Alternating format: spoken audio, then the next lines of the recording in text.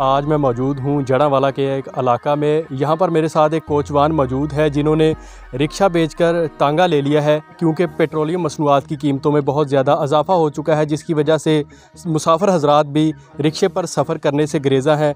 इसी बात से दिल बर्दाश्त होकर इन्होंने टांगा ख़रीद लिया है। महँगाई है बजाय कि हम आगे तरक्की करें दूसरे मुल्कों की तरह लेकिन हमारा मुल्क इस महँगाई की वजह से मैं बेशक पीटीआई का वैस चेयरमैन हूँ लेकिन हम दिन ब दिन हमारा मुल्क पीछे आ रहा है। डिजिटल पाकिस्तान की वीडियोस देखने के लिए हमारा चैनल सब्सक्राइब कीजिए और बेल आइकॉन को प्रेस कीजिए ताकि आप हर वीडियो से बाखबर रह सकें।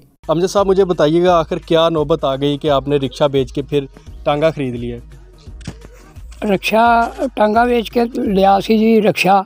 ਸਵਾਰੀ ਨਹੀਂ ਸੀ ਬੈਂਦੀ ਰਕਸ਼ਾ ਟਾਂਗੇ ਦੇ ਹੂੰ ਤੇ ਰਕਸ਼ੇ ਤੇ ਬਹਿਣ ਲੱਪੀ ਜਿਸ ਵੇਲੇ ਹੁਣ ਪੈਟਰੋਲ ਮਹਿੰਗਾ ਹੋਇਆ ਤੇ ਹੁਣ ਰਕਸ਼ੇ ਤੇ ਸਵਾਰੀ ਨਹੀਂ ਬੈਂਦੀ ਹੁਣ ਟਾਂਗੇ ਤੇ ਬੈਂਦੀ ਆ 30 ਰੁਪਏ ਜਿਸ ਵੇਲੇ ਸੁਣਾਈ ਦਾ ਤੇ ਸਵਾਰੀ ਗਾਟੇ ਨੂੰ ਆਉਂਦੀ ਆ ਜੀ ਉਹ ਟਾਂਗਾ ਫਿਰ ਸਾਨੂੰ ਰਕਸ਼ਾ ਵੇਚ ਕੇ ਤੇ ਟਾਂਗਾ ਬਣਾਉਣਾ ਪੈ ਗਿਆ ਜੀ ਉਹ 20 ਰੁਪਏ ਹੱਸ ਕੇ ਦੇ ਦਿੰਦੇ ਨੇ ਜੀ ਇਹ ਪੈਟਰੋਲ ਕੋਈ ਸਸਤਾ ਹੋਵੇ ਜੀ ਅਸੀਂ ਫਿਰ ਰਕਸ਼ੇ ਬਣਾ ਲਈਏ तो अमजद साहब वो जी। इमरान खान कह रहा है कि मार्च में पेट्रोल फिर सस्ता होना शुरू हो जाएगा अगर पेट्रोल सस्ता हो गया तो टांगे का क्या करेंगे फिर ਫਿਰ ਅਸੀਂ ਟਾਂਗਾ ਵੇਚ ਕੇ ਰਕਸ਼ਾ ਲੈ ਲਾਂਗੇ ਫਿਰ ਮਹਿੰਗਾ ਹੋਏਗਾ ਤੇ ਫਿਰ ਅਸੀਂ ਰਾ- ਟਾਂਗਾ ਬਣਾ ਲਾਂਗੇ ਅਸੀਂ ਇਸੇ ਕੰਮ ਤੇ ਰਹਾਂਗੇ इसी सिलसिले में आप ਇਸੇ ਸਿਲਸਿਲੇ 'ਚ ਹੀ ਚੱਲਦੇ ਰਹਾਂਗੇ तो ये सफर कैसा है टांगे का ਟਾਂਗੇ ਦਾ इसके- ਸਫ਼ਰ ਤਾਂ इसके ਬਹੁਤ एक ਅੱਛਾ ਹੈ ਜੀ अच्छा ਰਕਸ਼ਾ ਦਾ ਜਿਹੜਾ ਨਾ ਜੀ ਕੰਮ ਤੇ ਬੜਾ ਬੜਾ ਖਰਾਬ ਹੈਗਾ ਐਕਸੀਡੈਂਟ ਹੋ ਜਾ ਲੱਤ ਬਾਂਹ ਟੁੱਟ ਜਾਂਦੀ ਹੈ ਤੇ ਲੱਤ ਬਾਂਹ ਨਹੀਂ ਟੁੱਟਦੀਗੀ ਉਹ ਕਿਉਂ ਸਵਾਰੀ ਬੜੀ ਅੱਛੀ ਹੋ ਕੇ ਬਹਿ ਜਾਂਦੀ ਵੀ ਸਫ਼ਰ ਟਾਂਗੇ ਦਾ ਅੱਛਾ ਹੈਗਾ टांगे का ना पेट्रोल पैना ना ਇਹਦੀ ਚੈਨ ਲੱਥਣੀ ਘਾਹ ਦੀ ਮੁੱਠ ਪੱਟ ਕੇ ਤੇ ਬਾਦੀ ਦੀ ਉਹਦਾ ਫਿਕਰ ਹੀ ਬੜਾ ਹੁੰਦਾ ਜੀ ਤੇਲ ਮੁੱਕ ਗਿਆ ਜੀ ਆ ਇੰਜਨ ਦਾ ਕੰਮ ਹੋ ਗਿਆ ਜੀ ਆ ਫਲਾਣਾ ਹੋ ਗਿਆ ਜੀ ਉਹ ਮਿਸਤਰੀ ਸਾਡੇ ਕੋਲ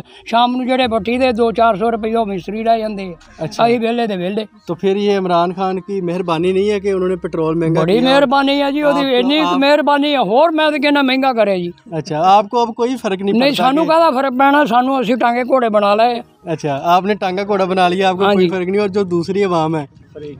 अल्लाह वारस है जी उन्होंने भी। उनका अल्लाह वारस। तो हाँ क्या मशवरा देंगे जो लोग ट्रांसपोर्ट चला रहे हैं कैरी डिब्बे रक्शे और दीगर मरे पे और उन्होंने की करना उनको क्या मशवरा देना चाहते हैं? मशवरा है भी तेल सस्ता करे आवाम जोड़ी है कोई ये तो हुकूमत को मशवरा हो गया ना। हाँ जी। तो अपने जो दोस्त दूसरे हैं आपके रिक्शा वाले उनको कहेंगे कि आप भी टांगा ले लें रिक्शा बेच के।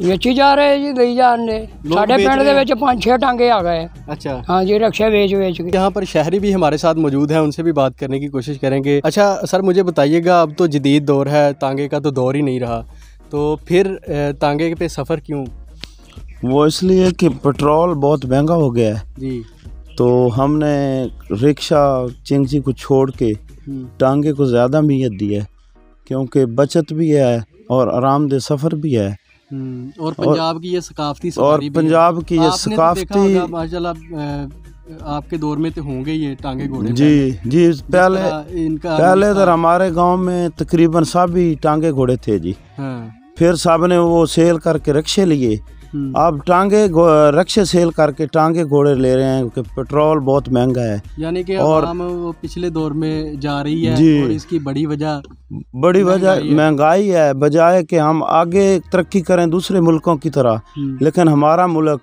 इस महँगाई की वजह से मैं बेशक पीटीआई का वाइस चेयरमैन हूँ लेकिन हम दिन ब दिन हमारा मुल्क पीछे आ रहा है। पीछे आ रहा है। क्योंकि गवर्नमेंट गवर्नमेंट किसी चीज़ की रिलीफ नहीं दे रही दे रही।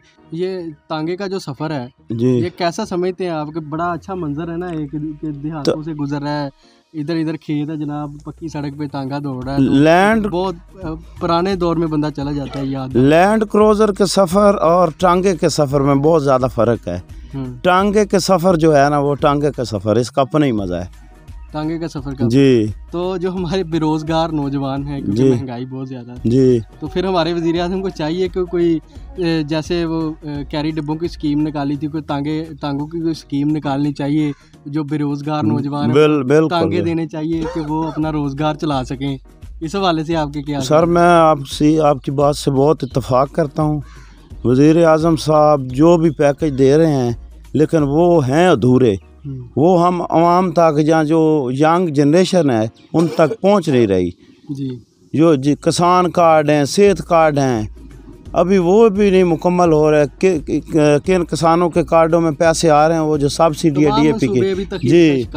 जी। मेरे साथ यहाँ पर रिक्शा ड्राइवर भी मौजूद हैं इनसे भी बात करेंगे कि तांगे आ जाने से इनके कारोबार पर कितना असर पड़ा है। बताइएगा कितना नुकसान हुआ है कितना असर पड़ा है कि रिक्शे भी आ गए हैं तांगे भी आ गए हैं। ਪੈਟਰੋਲ ਮਹਿੰਗਾ ਹੋਣ ਦੀ ਵਜ੍ਹਾ ਤੋਂ ਸਾਡਾ ਬਹੁਤ ਅਸਰ ਪੈ ਗਿਆ ਸਾਡੇ ਤੇ अच्छा ਸਾਡੇ ਰਕਸ਼ੇ ਚੱਲਦੇ ਹੀ ਨਹੀਂ ਸਵਾਰੀ ਬਹਿੰਦੀ ਨਹੀਂ ਹੈਗੀ कितने ਟਾਂਗੇ कितने रिक्शे यहाँ पर आ रहे हैं ਰਕਸ਼ੇ 5 6 ਪਹਿਲੇ 10 तांगे 12 कितने आ रहे हैं इधर 10 12 ਰਕਸ਼ੇ ਸੀ ਵੇਚ ਕੇ ਤੋਂ ਹੁਣ ਤਿੰਨ ਰਕਸ਼ੇ ਰਹਿ ਗਏ ਨੇ लोगों ने तांगे ले लिए हैं ਟਾਂਗੇ ਲੈ ਲੈਣ ਸੱਤ ਰਕਸ਼ੇ ਟਾਂਗੇ ਹੋ ਗਏ ਨੇ तो ਸਾਡੇ अंकल जी मुझे बताइएगा कि लोग सवारियां जो हैं वो ज़्यादातर किसको तरजीह देती हैं रिक्शे पे बैठना पसंद करती हैं या कि तांगे पे बैठती हैं ਟਾਂਗੇ ਤੋਂ ਤਰਜੀਹ ਦਿੰਦੇ ਨੇ ਸਾਰੀ उसकी क्या वजह है कि वो तांगे पे बैठती ਟਾਂਗੇ ਦਾ ਕਿਰਾਇਆ ਸਸਤਾ ਹੈਗਾ तो 20 ਰੁਪਏ ਕਿਰਾਇਆ ਰਕਸ਼ੇ ਵਾਲੇ 30 ਰੁਪਏ ਲੈਂਦੇ ਨੇ हैं रक्षा तीस वो हाँ जी।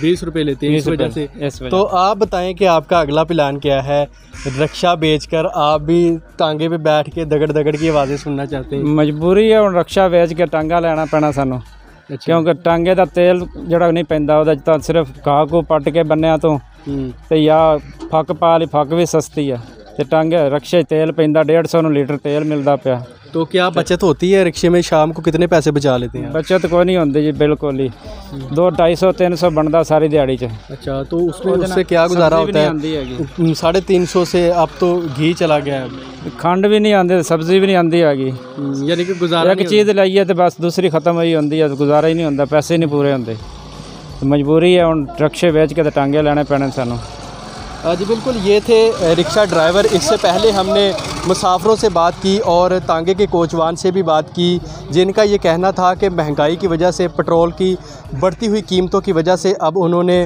रिक्शे बेचकर तांगे ख़रीदना शुरू कर दिए हैं और ये एक सस्ता और मीरी सफ़र भी है और पंजाब की एक सकाफ़ती सवारी भी है। साथ ही साथ शहरीों ने ये मुतालबा भी हुकूमत से किया है कि जो टांगे हैं, उनको अब स्कीम के तहत दिया जाए ताकि जो बेरोज़गार नौजवान हैं, वो अब टांगे ख़रीद कर अपना गुज़र बसर कर सके। इसी के साथ अपने मेज़बान राना एहसान अली को इजाज़त दीजिए। अल्लाह हाफिज़।